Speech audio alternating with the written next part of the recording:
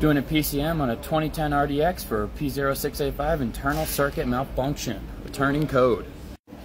I changed the negative and positive cables on this vehicle as well. Um, on this model, they have been known to cause intermittent stalling issues while driving. So goes down to the alternator. But we're gonna change out this guy. Got to put the rest of the parts back together first, though. These big. Stand by. Also, one of the best things ever invented: magnet sockets.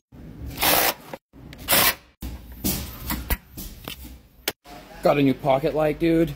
Totally worth the money. Think packs a punch.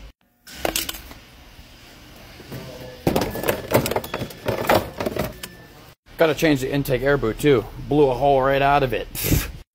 Black or white?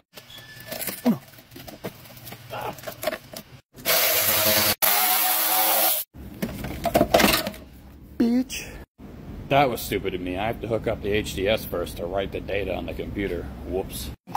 Gonna need the radio code.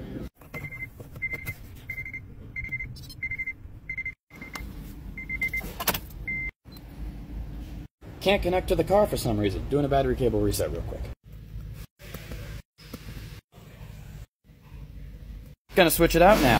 Oh, and the problem was one of the cables wasn't, the cords wasn't plugged in all the way to the DSTI. Let's put it in now. Click, click, click. Whoop. Gotta clear the codes from unplugging the PCM with all with the ignition on. Whoops. Gotta enter the VIN to the new PCM and program the immobilizer. Dirty slut. I didn't vape in this video yet.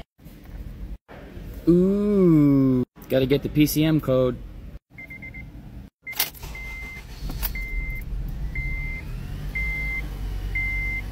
Well, that was certainly a fiasco. Our computers are out of date, so I couldn't program the keys, but I've updated and fixed it.